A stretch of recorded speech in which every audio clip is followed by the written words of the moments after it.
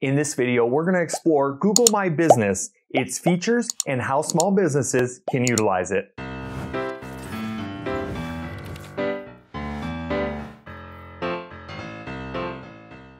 In this video, I chat extensively about Google My Business with Jasmine Holmes. Jasmine owns a marketing agency in Phoenix, Arizona, and I met her about a year ago at a marketing workshop. And the topic of Google My Business came up amongst the audience. And all of a sudden, this woman in the back started chiming in and answering the questions. And before we knew it, the entire audience was focusing on her and she was answering all their questions about Google My Business. So I knew that I had to meet and have a conversation with her. That person is Jasmine Holmes and she works specifically with local small businesses in the Phoenix area. And she's got a very strong pulse on local SEO and more importantly, everything related to Google My Business. So I knew when it comes to the topic of Google My Business, I had to speak with her. I'm Michael Quinn and this channel is dedicated to small businesses, entrepreneurs, and marketers looking for simple and easy to understand search engine marketing tips. At the end of this video, if you've liked what you've seen, I would love for you to hit the subscribe button. My guest today is Jasmine Holmes. Jasmine is going to talk to us about Google My Business. But before she does that, why don't you tell us a little bit about yourself and about your business? Thanks, Michael. Um, yeah, so my name is Jasmine Holmes. My company is 910 West, and we are located um, outside Phoenix, Arizona. So um, here in the Southwest Desert. Um, I have been in business. I've had my own company now for it'll be 13 years in just a couple months. Um, but prior to that, so I've been in marketing for almost 20 years, and I it still boggles my mind when I think that I've been doing this for 20 years. I don't feel that old, but I guess that's how we all feel at this age, right? And that's how that's one of the bylines in my biography that whenever somebody read is I am much older than I look, so don't be fooled by that. And I'm very happy to say be able to say that.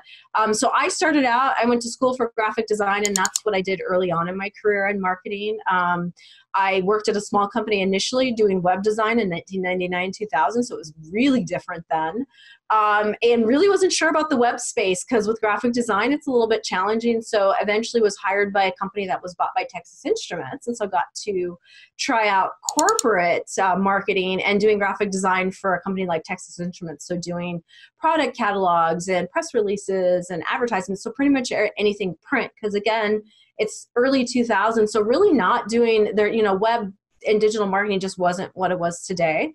Um, that the corporate experience really didn't work out well for me just wasn't my cup of tea.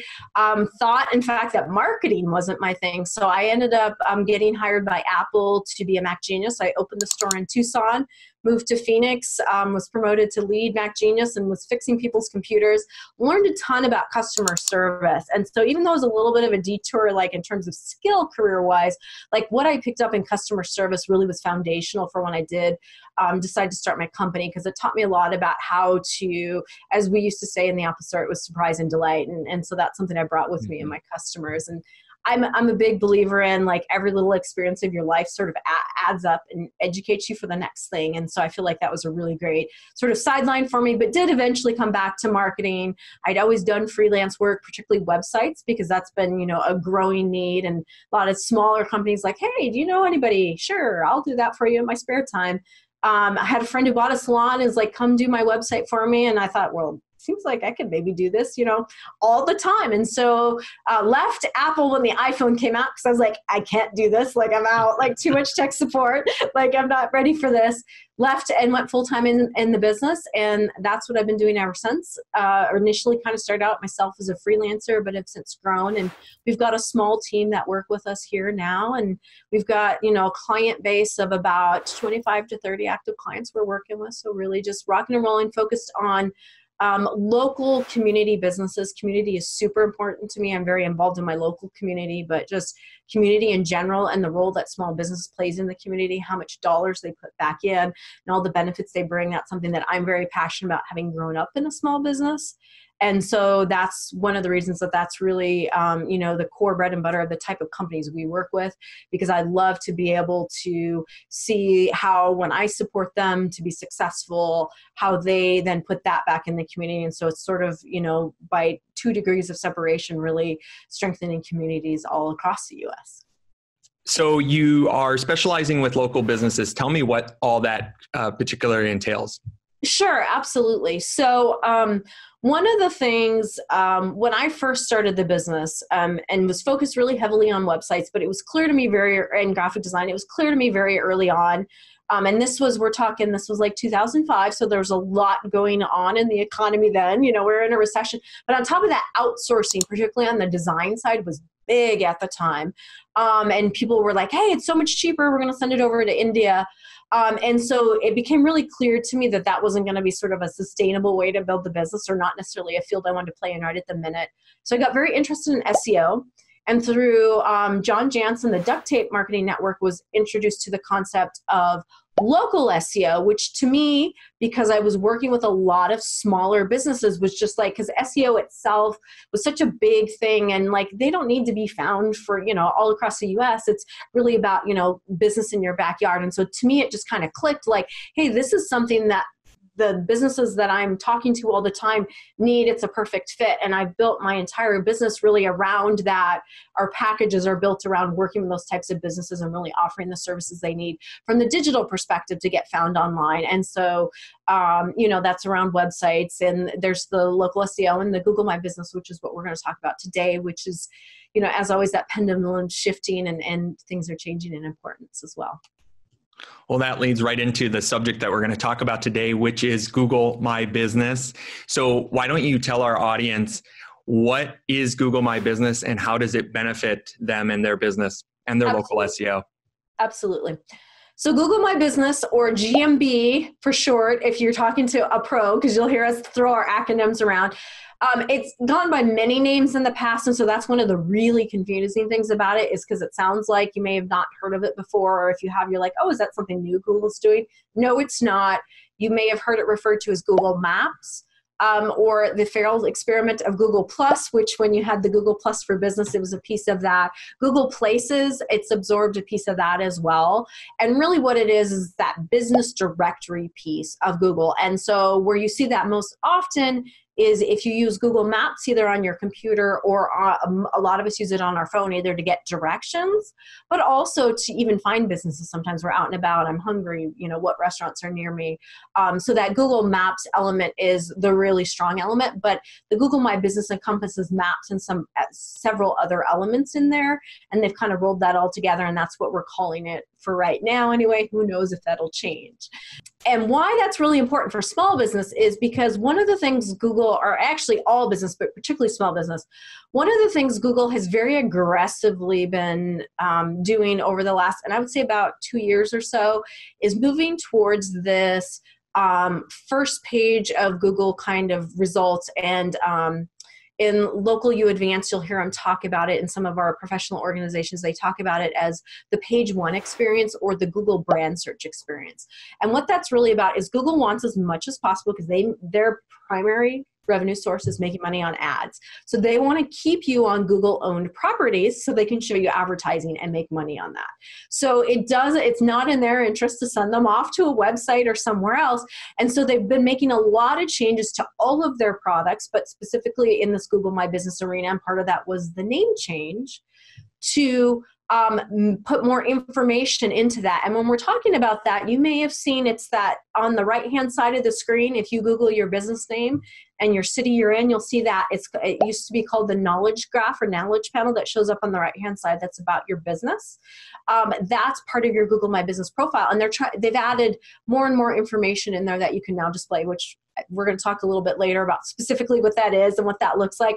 But they really want people to be able to make an appointment directly from there, make that phone call so they stay on Google versus clicking over to a website. And whether it's your website or even some of the other directories, which we're now kind of seeing closing up and folding away because Google's trying to keep that in their search results. And so through that, um, Google My Business profile. It also has to do with when you're doing a search for, let's say, not so much a brand search for a business, but for a type of business. I'm looking for a restaurant, I'm looking for a dry cleaner, I'm looking for a dentist, any of those things in those what we call the local search results, which will, which will show up right underneath the ads in the main part of the body. But usually before you see um, all the results for the websites, a lot of times it'll be what we call the local pack. It used to be a little stack with a map.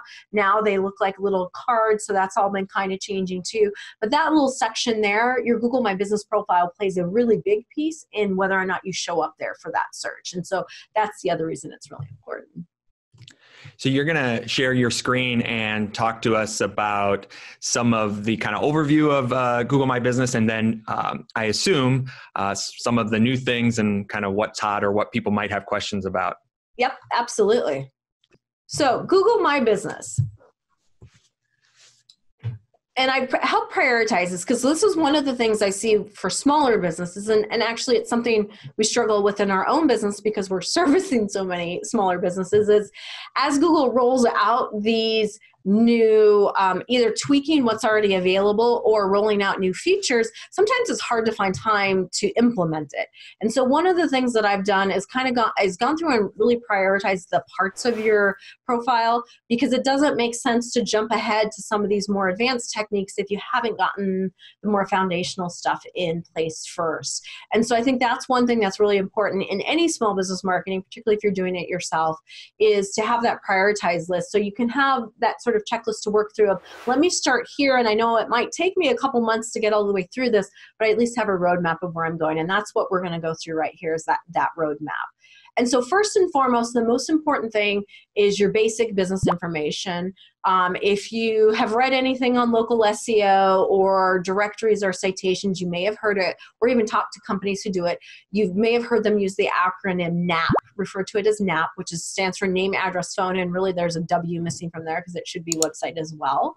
But that's your business information online, the core information about your business. So if you do have a location, particularly if people come to your location, you don't go to service them the address and having a correct address. So if you've moved it all is critical so that people can find you. I can't tell you the number of clients that'll be like, oh, I had somebody show up at some place I used to be two years ago. And then we mm-hmm. go out and mm-hmm. find that address in a couple places. And that's really frustrating to customers, potentially uh, specifically potential new customers, right? Because now here I've gone to try this business and I show up and you're not even there.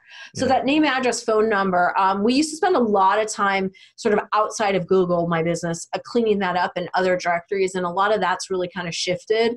Um, and the, Google's changed the way they gather information now. So it's a lot less critical worrying about all those other websites. You absolutely, and you want to use Google as your kind of single source of truth there. So however you have it listed there, you want to make sure that's how you're doing it on the other websites. We do recommend um, having all that information collected in an offline document that you have in place first. Um, so that way, if you're working on it or somebody else in your company is working on it, everybody sort is on the same page as, as to how you know how the address should look. How you know um, what? How do we list the company name? Do we want to list our LLC in there? You know how exactly is there a hyphen or is there a dash? You know all those kinds of little details that don't seem like they mean a lot, but they can lead to confusion because the customer might think it's two different businesses if it's you know even punctuated slightly differently, that sort of thing. Or phone number if you're using, um, if you've changed phone numbers or if you're using tracking phone numbers to track your leads and your call conversion. Um, all that is, you know, you want to make sure you've got that all recorded so somebody can see and they don't delete a, a, tracking number because they don't realize that's an actual number associated with the business. So, um, and we've got a, a, spreadsheet on our website that you can download, um, and I assume we can put a link in the, the, show notes here. Yeah, to, to that where you can download that. Um, you don't even have to put in your email; it's just a free download. Go grab that where you can fill that information in, and it's got all the critical pieces of this business information. The key, of course, being that NAP, the name, address, phone um, but also a description of your business. So you want it to be um, engaging and interesting. So it used to be five six years ago we would write those descriptions very keyword heavy. So kind of like the way we used to do um, you know meta tags back in the day like all about the keywords not of who cares if anybody's reading it? Because it's really only search engines. Mm-hmm. that's not the case. Google wants these descriptions to be something unique about the business because they have a lot of other ways which i'll talk about in a minute about how they figure out like what you're all about. So you can put some keywords in there but that it's a great opportunity to talk about what makes you unique. So um, and that's also because somebody maybe if you're looking at a local pack they may be looking at two other other businesses next to yours. And so that unique description can be a way to push them over. Um, so if you know your ideal client, really making sure that your wording in there is speaking to that ideal client as well. Um, the categories, and I have these bullets switched, but categories are really important. Um, and I'm just, this something that I've always kind of known, but I've really dived in and learned a lot more about the last couple years because it's kind of come more on my radar. And I didn't realize how complex this issue with categories is until I started diving more into it. Um, and it's because Google, the way they decide categories, there's not really a lot of logic to it. Like, so there's occasions where we'll be working with companies where I expect there to be a lot of categories that are relevant to what they do, and there's like one, and it's not even really a good fit. And you're like, what? Or there's other industries where I'm like, there's really like seven different categories that could, you know, apply. So part of it is making mm-hmm. sure that um, you choose, you know, because there's no penalty for having a, a, a, number of categories on there as long as they're relevant to your business. So the only time you get into trouble is you start, you know, if you're a dentist and you're throwing automotive keywords or medical keywords in there you're gonna you're gonna get dinged for that because you're going outside your field. But for instance on a dentist profile you might have dentists you might have optometrist office you might have family dentists. They've got a lot of different variations um, and there's not a ton of great resources out there for it, with the exception of um, looking at um, your competitors and seeing where they're listed. This is one where I do recommend hiring a professional. So even if you kind of manage and do yourself, this is a great one because they can also use, um, you know, as professional SEO people can use our keyword research knowledge and to really help guide you in the right direction. But that's one that I do recommend working with the professionals on selecting those categories and making sure you've selected all the categories. Google's got a master list of sort of what's available but it's very hard to find that publicly. And so that's one where, and that's an hour of a professional's time. So we're not talking a lot of money, spend a little bit of money, have somebody guide you on categories is a great way to invest. Um, products and services. So this is one you can absolutely do yourself and that's going to be um, you want to talk about you know what it is you do um, i like products a lot more than i like services and actually i don't have the menu on here because we don't work a lot with restaurants and hospitality so i always forget this segment but mm-hmm. if you mm-hmm. are um, you can also for a restaurant put your menu on there and i will say as a consumer who has food sensitivities restaurants please put detailed menus out there. I know it's a lot of work, but for me, it's a really big deter. And there's more and more people in this category, a really big determining factor as to whether or not I go to a place if I can see in advance if they have something I can actually eat there. Um, so I know, and I've talked to a lot of people in the restaurant industry, and they're like, it's just so much work, but it's well worth it. Um, particularly if you are looking to attract new customers. Um, and so menu falls into the same category, but it's very specific to restaurants. Everybody else is going to be looking at products or services, and you can actually do both depending on your business. Um, why I like products better is that there, there's some extra features. So on services, you can put, you can do categories to group your services together, and you can do a short description, but that's pretty much it you can do with the category. The product, you can actually include a link back to that now you have to have the product listed on your website so you got to have a page for it um, but you can link back to your website so it's a great way to get people directly more information on that product on your website. The downside is all products have to have a price. So if you're a service business where price really sort of depends on, like for us and marketing consultants, like there's a lot of factors. So it's very challenging for us to just sort of throw a price out there, right? Because depending on your industry and how established you are and where your business is and your goals can really affect the price. And so that may, for like a professional services consultant, they're probably going to be more on the services end. But if there's any way that, you know, if you're a salon spa kind of thing, you've got prices on all your massages, right? List those as products and then you can link over to that particular massage um, on your website. And so it's a great way to improve your ranking. And we know um, the massage industry is a great example. Consumers are getting a lot more educated, and so they're more familiar with the different styles. So they're not just looking for massage now um, the more savvy consumers are looking for specifics. And great example, we were working with a chiropractor slash wellness office, and they do kinesiology, which is a pretty niche specialty. And we just added that in as their category on their Google My Business listing, and we put it in their description. This was before products and services were was available. And the next time we saw them, she's like, "I'm getting calls for kinesiology," and I'm like, "That's because nobody else is doing it." And like, not that that's a huge audience, but for the people who know and they're looking for that, you're showing up because it's not competitive. Mm-hmm. And so that's where products and services are really an opportunity to not ha- not only highlight the big sort of big name competitive things you do that a lot of other people do, but if there's very niche specialties within there, I would uh, uh, suggest putting that in there because those can be less competitive. So it can be a great opportunity, particularly if it is a differentiator for your business. And do the products and services always show up? Because wasn't there a while there when they rolled this out when it wasn't showing up? Well, so that's the tricky thing about it. And we were just doing some tests on this last week. So, one of the big things to note about Google My Business is there's different views on the desktop that you as um, just a consumer if you're googling it it looks very different on maps the profile the way it does in just a google search um, and then it looks very different if I have admin access to it on the back end. I have some access to other features. Products and services only show up in the mobile app. So if you're using it, um, either you have the Google My Business app on your phone as a manager, um, so if you want to check that they're in there you can add them through the desktop through the through the profile there but like we were trying to check the other day and actually view a client's on the front end. For some reason we'd been locked out of the google my business listing and i'm like wait let me pull it up. And we're looking on the back end and so you will see it there and we also want to see what it looked like so we're doing some sure. testing. Um, so the the phone app is the best place either through a, a search in chrome or through the google maps app or using the google my business app on your phone is the best place to see that information. It's a little hidden because they list listed under menu. So it doesn't say products or services either. It says menu, which you're like, well, we're not a restaurant. What is that?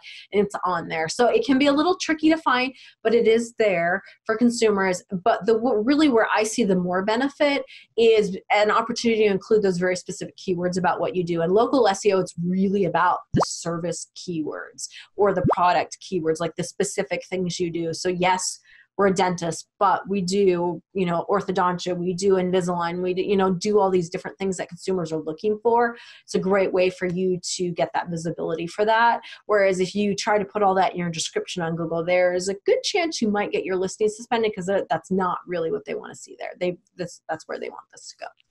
You can think of my Google, your Google My Business profile is basically a mini version of your website, and that's really what Google wants you to do with it. And there's a lot of discussion around, well, that means people aren't going to go to my website. Am I really losing business? Let's face it, for small businesses, there's one metric that matters at the end of the day, and it's is my phone ringing? Am I getting new business? And you don't care mm-hmm. if it's because mm-hmm. they're coming through your website or they're finding you on Google My Business and calling you, right? And so, yes, it does preempt some traffic to your website. And so, for us marketing people, it's a challenge because now we're like, well, your website traffic's way down, but you're showing up number one in the search position. Well, that's where, and Google My Business has got some great um, stats on the back end, which I don't have a lot in this presentation, and we could probably do a whole separate video on that. But there's some great stats on what you can be tracking on the back end of Google My Business. Um, if you are missing those clicks to your website, where you can still get data on how much customers you're getting. Uh, so next, once you get that basic information, and I think I've got, yes, here we go. I've got this broken out. So the basic information is kind of a one-time thing. You will want to revisit that periodically, maybe once a year, just like you want to refresh your website periodically. Make sure, you know, the way you talk about your service hasn't changed. You know, these days everything's changing so much. So something that was a hot service five years ago or even a year ago, now everybody's like, oh no, we don't need that anymore because there's this whole new tech. So refresh for that sort of thing. So just like you're doing with your website, make sure that's all matches. And ideally, if you've got a service page on your website, I want to see that listed as a service. Um, in your Google My Business profile, because even though there's not a link there, I feel like you know that's when where Google's looking at both and they're going, "Yep, yeah, okay, this is legit." Um, so that's a one time, you're one and done. It's great. Maybe a couple hours of your time to do it. So not crazy amount of time. Um, again, if you use our form to fill it out, it helps. It gives you all direction. You get that all in there and dump it in. Um, now, on a more ongoing basis, um, and I say monthly on this because I don't think it's realistic for most small businesses to do this more frequently, um, but as frequently as you can, and even quarterly is sufficient. You want to make sure you have photos and videos in your profile. And this is something it's a bit of a challenge and we hadn't put a lot of attention to in the past and we're actually planning first of the year we're going to be sending our team out to all of our clients to do photos on site because us asking our clients for photos isn't working because they never send them to us so we're like that's it we're going to go take some. Um, because google does not want to see stock photos here. So these need to be photos of the real people in your business. It can be customers it can be staff team members employees owners it can be photos of your building. So if you have a physical building, um, like we've got an optometrist office that's beautiful and they've got this huge selection of glasses. So they're going to be an easy one. We're going to go out and snap some photos of their selections of all the frames and of the really pretty waiting area and all those kinds of things. Because what we want this to do is give um, potential customers, like let them know what that experience is going to be like when they walk in the door. So you don't even have to have people in the photos, just some great photos of your building. A 360 tour, um, which those you can find some photographers that do this very affordably is well worth the investment if you have the kind of physical business where somebody comes in particularly if you've got a really pretty space. We have a client who's a naturopath. They just did one and their office is like it's the most beautiful office i've ever seen. They've very set it up very intentionally as you would expect with a naturopath. And so that does a lot of credit to their business having that 360 on the google my business profile where people can actually you know sort of tour the business before they even go in there. Um, now if what if you're a service business like home services so you're going out to your customers a plumber and air conditioner that's you know you don't necessarily you're not going to show pictures of ducks i joke i worked with some air conditioning companies in the hmm. past and they're like here's this great before and after and i'm like what am I looking at? They look the same to me, right? But pictures of your guys, because um, that's a big one we know in that industry. Um, you've got people in your home and you want to know who they are, and there's a lot of services where you know they'll send out emails and stuff. But picture put pictures of your key team members or your techs in your Google My Business profile, even if it's a group shot. That's great, just so that I have a sense of comfort about who's coming in my home. Um, but also like pictures of trucks can be really kind of cool. Like here's what I'm expecting, particularly if you have some nice looking trucks. So it doesn't have to be um, you know, you can really kind of think outside of the box, but I would certainly say in home services, like showing pictures of the work that you're doing probably not the best fit. Now, if you are in a creative field like what we do, we could certainly show samples if you're building websites of your samples and that sort, you know, of your actual product work is a great use of that as well to highlight what you do. So you really just want it to give people a sense of what it's like to work with your business and the quality of work that you provide with the photos and videos. And that's something, it's kind of a one time you may do it, get some photos in there and get it loaded, but you should, uh, Google, um, it does impact ranking and how visible you are. So you definitely want to be adding to that a little bit over time. So even if it's just kind of snapping photos throughout, you know, the quarter and then once a quarter going in posting it or throughout the month. And that can be if you do a really cool job, you know, grab a picture of it. You have a new employee coming in, take a picture of them. You get a new truck or, you know, you redecorated your office, all kinds of different things you can add in there. Um, now, on the other side of photos, that's a little tricky because you don't have any control over this.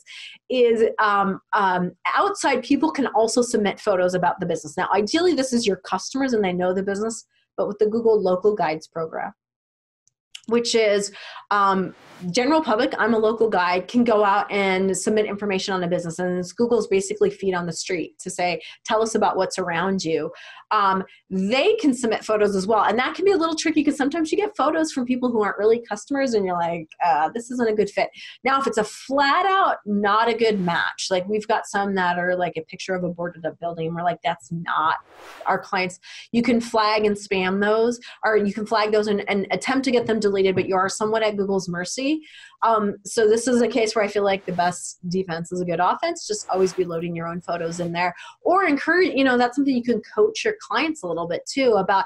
Hey, like you know, we'd love for you to post a photo, or one of the things that I love right now is the trend of putting murals in buildings because, and it's mostly for Instagram because you know you've got your Instagram shot. But like, what a great way to encourage people having you know a really fun and maybe it's not a mural, just a really pretty waiting room or a place where they can, you know, a selfie station essentially in your office where somebody can take a picture and post that onto Google as well because it's a great, um, you get that sort of user experience and you can also use it on social media. So um, you can certainly go that, that's sort of an extra step, but you can do your photos yourself, but you can always um, empower your customers, particularly if you're in entertainment, retail, um, hospitality, any of that, that's a place where I would suggest energizing your customers because you're going to get some really great photos there. Um, if you're more on the service professional services side, you might want a little bit more control about what's being shown. So you may, may not go that route. So here's a question. I had yeah. a um, uh, person ask me, uh, business owner, uh, a customer had submitted a photo and it was showing up as their cover photo or their ah. main photo and yep. they they tried a ton of things could not get one of their own photos. This this customer photo kept being displayed as the kind of the cover main photo. Yep. is there any way around that? So that is a little bit of a challenge and that's actually something we're working on for a client right now. So i don't have a super solid answer but here's what i will tell you that i know about it Google has said that in your Google My Business profile, and this is uh, something that was really new and I think just the last six months or so, where now you can designate a cover profile image and you can also designate a logo image. And I, it's what's supposed to happen is when you've designated those, they're supposed to show up first. From what I'm reading online, that doesn't always happen. So you're a little bit at Google's mercy, but absolutely go in and do that. Um, now, the other option is if you have a photo that's showing up there that you don't really like, and you can discern from the username who that customer was that posted that. I think you can actually message them um, reach out and say, hey, listen, would you mind removing that photo? Because it's not quite exactly what we want to show about the business. So, you know, that's when we're having a relationship can help. But yes, absolutely. First, take take uh, use of that feature of designating your feature, your cover image, as well as designating your logo. Because I always like to have a logo on there. I know it's not the most engaging, but it's a really important brand element. And my background being in graphic design and branding, like that's really where my heart goes. Like keep your brand in there as well. So same thing with your cover photo. You want to keep your colors consistent, keep the brand really consistent. That's one where I feel like if you take some time to create a nice cover image and load it up in there and designate it, it's probably a lot more likely that Google's going to allow that, or it's a really nice photo of your team, something that's quality, because that's really what they're looking for is they want to provide that quality experience. They're going to be a lot more likely to allow that through. But uh, sometimes we see it's just sort of glitches with Google's system as their which when we talk about q&a there's some breaking news on that that i'll talk about. Um, you know where they're kind of working out kinks so some of that's kind of a sit and wait. There is google support available although i think they've actually just dropped their phone support and i think it's all just messaging now. Oh, no. and i don't know with that particular issue how much resolution you're going to get because it's just not unless it's like a very blatantly like not your business photo. Like that we've had ones that were just like really weird random like like a fat guy smoking a cigar that clearly had nothing to do with the business. And we're like where did this even come from? Like kind of yeah. like random thing. Um that you know you're more likely to get get action on. But if it's like well it's just not a flattering photo of the business do your best. Keep loading your own photos in there. Because that's the other thing is i feel like eventually your own photos are going to overwhelm that one customer photo. I think um the one thing i don't know and this is a, tactic a tactic we use with uh, q&a and reviews. And you may be able to do it with photos as well. If you have the ability to go and sort of thumb up or thumb down them i would recommend doing that and having your employees do that or having friends and family do that because it's a great way to um, to um, basically give some prominence to that. So what we've done with that, uh, particularly in review um, reviews or Q and A, where you get a stupid answer, we'll write our own answer from the business, and then I'll actually go with my personal profile because being a local guide, and if you're a small business owner and you're doing your own Google My Business and you're not already a local guide, Google that and sign up because it's a great, it gives you some extra street cred there, mm-hmm. where Google's more likely to take your edits as a consumer. Um, I'll go and thumb that up, and then I'll a lot of times push that stupid answer down and have are basically our preferred official answer show up over the top. And so that's one, I'll have to dig into that a little bit and see if that ability is available with photos. But if it is, definitely um, utilize that as well because Google's taking user feedback and saying, hey, this is really helpful to other people. So let's keep that there. And I'm not sure what the specific size and ratios are, but size does have something to do with it because yep. I was trying to get a cover photo for my own business to, to be the main photo and I it was not showing up. And then I tried a different size of the same image and then it did show up. So there's so something there. And I'm not, I'm not sure what that particular size is, but I've got a, a link for some for photo specs that walks through all that that I'll send to you, Michael, sure. that you can put in the show notes. Perfect um, for that because there's some resources. But you're right, and they and the bottom line is they want high quality. So that's one where I would start big and downsize if it says, mm-hmm. "Hey, this is too big to upload." So high quality, high res, and definitely not stock photos. Stock photos are going to get pulled if if you're using anything like that too. Yep, absolutely. Perfect. So yeah, I'll send you those guidelines on photos because I think that would be excellent to include in our show. Yeah, absolutely. Let me talk quickly about Q and A yeah. and spam because this is kind of more of your once you get your one time set up. There's some things that you should be kind of checking monthly or quarterly, a little bit more periodically, and then stuff you want to be really monitoring is your reviews and posts. And Q and A I want to talk about because it's a really underutilized element. It's a huge missed opportunity for most businesses, and also there's some funky stuff going on. So if you have been using it, you might be having some frustration right now. So what Q&A is, is now on your profile, and this does show up on both the desktop and the mobile versions. You'll see there will be a, um, if there's um, if they already have q&a it'll say see answers about this place or post questions about this place. And it's a link you click on and when you click on that you'll see there's a whole list of questions and answers. Sometimes there might only be one but there may be multiple for a lot of businesses where people ask questions about your business. And this goes back to what i was talking about where they really want to keep you you know provide as much information as that google my business profile as possible. So if you've got faqs on your website those should absolutely be loaded into google my business as a q&a um, and it's you know typical kind of things like hey do you have next day service uh, do you do same day appointments uh, how far do you serve um, what you know what are your hours now you don't want to put holiday hours in there because you can actually set that in your profile and that kind of goes into that monthly if you have like in I know that this video will be year round, but right now we happen to be going into the holiday season. So that's one of the conversations we're talking with all of our clients. What are your what are your hours for Thanksgiving? What are your hours for Christmas and New Year's? And we're loading that into Google My Business. Like a great example is I showed up at a coffee shop last year who didn't update their Google My Business hours on New Year's Day. And I was super excited to get a hot coffee and they were closed and I was very disappointed. And so that's one where you know you want to make sure for that customer experience you've got that loaded in there. Um, but if you've got like stock hours, like we're normally, because you'd be surprised how many people don't actually look at the hours. So you could put that in there. What are your hours? Mm-hmm. Or are, are you open later? That kind of thing. So FAQs are great to load in there. And you don't have to wait for customers to post questions. You can post your own questions and you can post your own answers. So that's one where we definitely recommend being proactive and just add a couple new questions every month. Now, that said, right now, there's and we're not clear if it's a glitch or if it's intentional or exactly what's going on the q&a has been disappearing and reappearing and some showing up and some not. So right now it's a little bit in flux and all we really know is it's in flux. We don't really know what's going on with that. So if you haven't invested a lot of time in q&a and you're watching this in november of 2019 maybe hold tight till first of the year. However if it's after that just do a little google search and check to see if that issue's been resolved and if so jump in on that.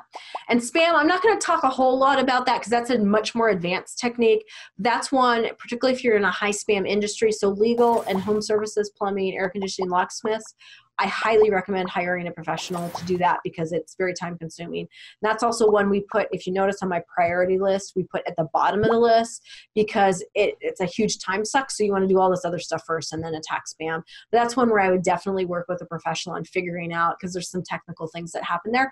But just be aware there is a lot of either review spam or a lot of spammy entries out there. And if you're not getting the visibility you want with your profile and you've done all these other things, it's probably time to look at that. So, weekly and daily reviews and posts. So, reviews are the new version of testimonials. Customers can talk about their experience with your business. Why this is so important to monitor is a lot of customers, if they have a bad experience, they post there. And not because they're trying to be malicious with their business. What I find is most of the times the customer really wants um, to make the business aware they're trying to help you make you better or they want some resolution and that, that to them is their most comfortable way because you know conflict's not comfortable for anybody right?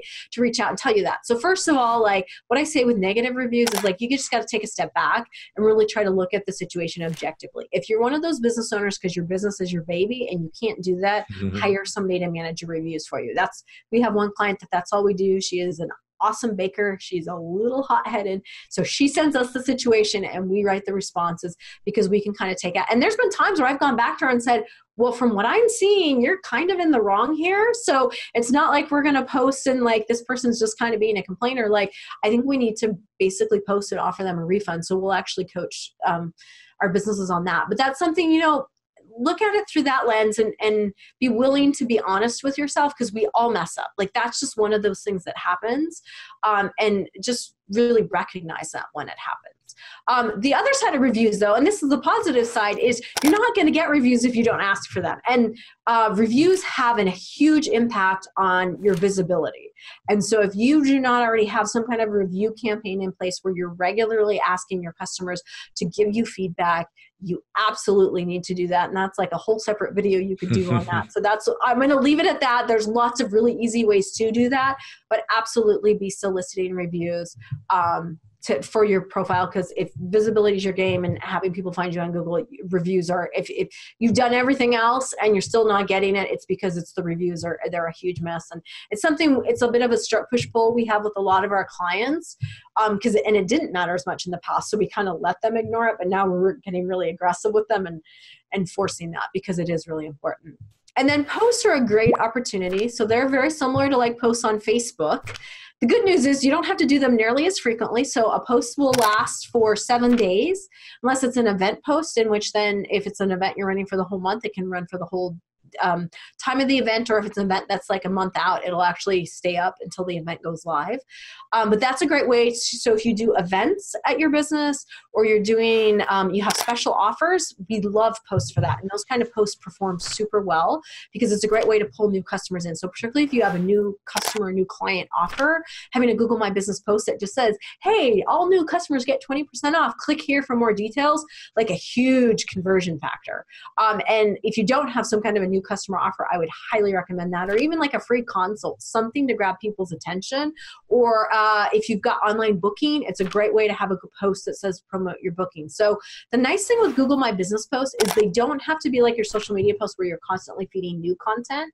For a lot of businesses, what you can do is you can identify like a handful, so anywhere between four and seven kind of key posts, whether it's a special offer, whether maybe it's an event you do periodically, or whether it's even um, and maybe special offers you do each month, or it may be the same offer. You kind of rotate around, and you can just basically um, sort of like we'll do where we'll do four, and so rotate them every four weeks. So it's something a little different, but it's the same four going through the queue.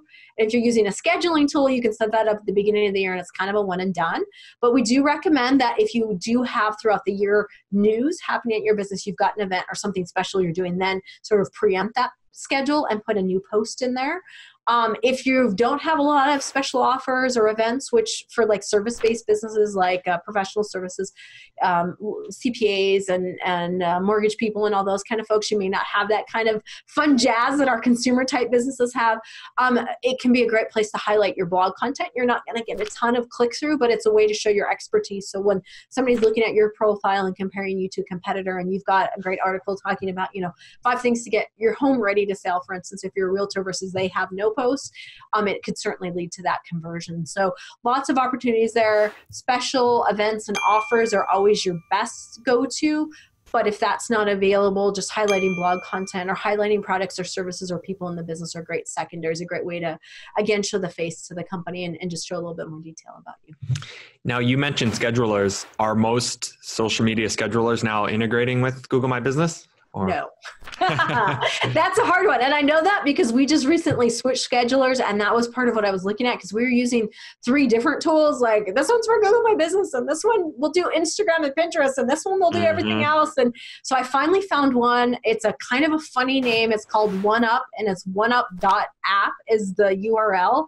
And it does do, it will schedule to all the platforms. So Instagram, Pinterest, uh, Twitter, Facebook, LinkedIn, and Google My Business. So we liked it because it's an all all in one kind of place and their pricing wasn't crazy because that's the other thing is um, the ones that do do it like some of the more well-known ones like buffer they don't do google my business and so that so that's a great one and there are some very specific there are some specific google my business only tools out there that will do posts but they also will actually help you automate q&a so if you're doing a lot with google my business or you have multiple locations and it's just too much to manage you might look at a tool specifically for google my business because it'll allow you to do things like q&a and photos photos and schedule all that as well as your posts. And so there's a couple of tools out there that actually helps with ranking as well. But if not, the OneUp app's a great one. Um, but you can also schedule directly in the profile. And if you're doing that thing where you're doing, you know, every sort of four weeks, and because they'll send you a reminder and be like hey your post is about to expire if you've got like a marketing person on your staff that that's kind of their job they just get that notice and if you've already got the post already written out it's just kind of a copy and paste so it can be fairly easy to do if you're doing it manually too perfect and I think, oh, okay. And so this one, we can definitely include this slide as a PDF or put these links in there. These are some of basically the my go-to sources for learning all about this. Um, and so just some resources to know a little bit more. This ultimate how-to guide from Whitespark, this thing is a long post. They've got an index in there so you can jump around. But this one is um, goes in so much more detail than what I've talked about. Um, I would highly recommend that. Um, and then Moz's article talks about that, and it goes into that image what you can control and what you can't.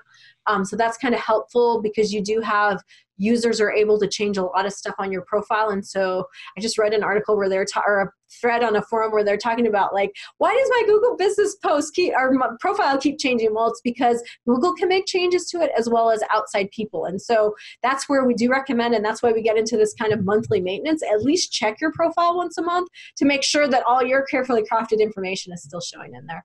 Um, and there is, oh, good, I've got a resource in here. I forgot about this for helping to choose your right category as well. Um, and then a couple of new features uh, features that just came out in the summer. And I think I talked about this. So where you can now set your preferred covered image and display logos, and that would be covered in that Bright Local article there at the end. Um, and then, like I said, with the posts, we talked a little bit about that. Short names. So that's a new um, feature where now you can basically, like, just like on Facebook, where you can have the at and basically have a tag to tag your business. You can do that with Google. Um, and those are actually just in the last week or two now showing on the front end of the profile you do want to be a little bit careful with that because you can actually put keywords and stuff in there so you can do some like little seo tricks with that. Um, but what we saw initially is it is setting the short name sometimes would cause the listing to get suspended and when i talk about that what that means is google basically for some reason has an issue with your uh, profile and has suspended it and there's a couple of different suspensions. A hard suspension means you just like worked google's last nerve and you're out and you really don't want to get to that point if you're a legit local business because it's very hard to come back from that. The soft suspension means they saw something on there, it was a little fishy, so they're kind of slapping their hand saying, don't do that again. Um, so that's one where um, the short names initially, I haven't seen that as much, so I think it's safe to do that again now. But I would say just be really careful with that. And I always lean, so I did an article years ago about this about, you know, branding versus SEO. And I always lead on the side of brand over SEO um, like so if you're trying to decide between do we go keyword and key phrase and you know optimization heavy or do we really about our brand focus on your brand. Because at the end of the day we buy from other people we buy from unique companies we want a, unique experiences and brand delivers that seo doesn't. So people will find you regardless but um, you know so that may be where with your short name you just want to do your company name. So it's you know to, to emphasize your brand and not so much seo um, if the short name's already taken i assume you can't take it. Right. and and can you change your short name more than once? you can you can change it throughout the year. So that's something hmm. and that's where the seo kind of some of the you know the, the, people in our industry they see this oh here's an opportunity. I'm going to change you know i'm going to have a heating one in the wintertime and i'm going to have a cooling yeah. one in the summertime. So you can change it throughout the year but that, just be aware that those that's one of those items that can trigger a suspension. So if your strategy is to change that on a regular basis just know that that might and when it's suspended it's not visible and so that could potentially impact your business. We had a client, um, not this exact scenario, but a couple months back, who just started working with us, and they're a dumpster rental company and they have a very large service area. And we still don't know how this happened. I think it's because they had a map on their website showing, like a custom Google map showing their service area. Well, that had gotten applied to their Google My Business profile. And we get this panicked email from the business owner, like, our calls have dropped off significantly. And I'm like, that's odd. We just optimized your profile last week. What's going on? And I went and looked mm-hmm. at it and I'm like, but we definitely did not set this service area. And that's a whole separate conversation. It's really services that it's affected by that. But the, somebody had set the service area and we removed it and it popped back up again and it was showing up. So that's one where, you know, you just want to be careful with some of those little things. And so, so same thing with this. And that's exactly what happens as soon as you show the visibility. If your Google My Business profile is working for you, you will feel that right away in terms of call volume. Great. Do you have any questions? Fire away. If well, tell me about being a local guide. Ah, yes. Okay. So local guides are actually kind of fun. I wish I had a little bit more time to dedicate it to it, but I feel like sometimes mm-hmm. my business owns my life. I know you well, and you've got a new baby, so between new baby and business, like you don't have a lot of. But local guides, particularly if you are um, somebody who really likes um, frequenting local businesses and want to share your experience with other people, it's a great program. So, whether or not you're a business owner, it's a great program, a great way to share what's happening. And so, what Google has done with this program is they said, you know, we've got businesses all across the US and all across the world. And obviously, we can't be there getting details about all these businesses. So, we need you the general public to help us with this and help us identify those really those rock star businesses right? So this is a great argument for brand and why you should be doing something unique and creating a unique customer experience in your business because this is the kind of stuff people talk about. And a google uh, uh, google guide might post about and then you know all of a sudden you went from like a trickle of business to like a flood of business because of this one unique thing you do. So the google guides program it's free to sign up for. You get points for writing reviews for posting photos for checking in at businesses for all these different things. If you amass enough points, you get all kinds of special little Google perks. I've never quite gotten to that point myself, but at the very least, it's a fantastic tool for um, just sharing your experiences and, and helping other people discover some of these really cool local businesses. So if that's something that's passionate, that you're passionate about, whether or not you're a business owner, whether or not you care about getting found, I highly recommend doing that. And if you use the Google um, Maps app on your phone, like once you sign up, it'll pop up and say, hey, you were just at this. Do you want to write a review? Or you were just doing this. Do you want to post a photo? So it'll nudge you for it. So it's really easy to do. It really doesn't take much time. Um, and you can answer, answer questions and answers. So if you've been to a business, so then we don't get stupid answers, we get good answers, right? Um, a lot of the stupid answers are because we have well-meaning local guides who answer questions because they just want the points and they don't really know the business. So that's why as the business mm-hmm. will step in. But if you've been to a business, it's a great opportunity to answer questions about it. So share that information. For a business owner, it's a great way to build up your profile, your credibility with Google. So like I have like instances where I'll have clients, like I had a client who moved and we were supposed to be updating their Google My Business profile. They went rogue and updated their address on their own. And then they're like, well, it's updated. And I'm like, yeah, but no, it's not because it's sending you a verification postcard. Did you get that? And they're like, what are you talking about? And I'm like, yeah, so you see it on the back end, the new address. The old address is still on the front end, guys. So I went in just as a an individual and updated. And in fact, I think it's because they hadn't given us access to it yet. And I was like, yeah. what are you doing? You're killing me here went in and did it just from the front end and accepted my change within a couple hours. But that's because I've been making edits to Google Maps listings for years and years and years. So I built up that credibility. But that's something as you contribute more, Google says, hey, this is somebody who's trusted. And they do have think like a trusted advisors group. I think it's mostly local seo and marketing professionals but i think if you are active enough as a guide where you can actually then get invited to google events to give feedback and all that kind of stuff. So if that's really you know if that's your goal it's a great way to do that. The very least it's a great way to show your local you know your neighbors your friends and family great places to go and discover more about the businesses. For a business owner it's an excellent way to um, particularly if you're having trouble getting your changes to stick to you know be able to stick that or and if you're a marketing company it's a great opportunity to be able to help your clients in a way where your back end changes may not have the same impact as your local guide changes yeah, exactly. And I've had that same uh, incident yeah. where I'm a local guide myself, and if a client hasn't granted me access yet, uh, in the meantime, I can suggest that change and yeah. have gotten those accepted because I'm a local guide. Yep. Um, and, and I have always... gotten a free pair of socks for having oh, so many points. So I've gotten one perk so far.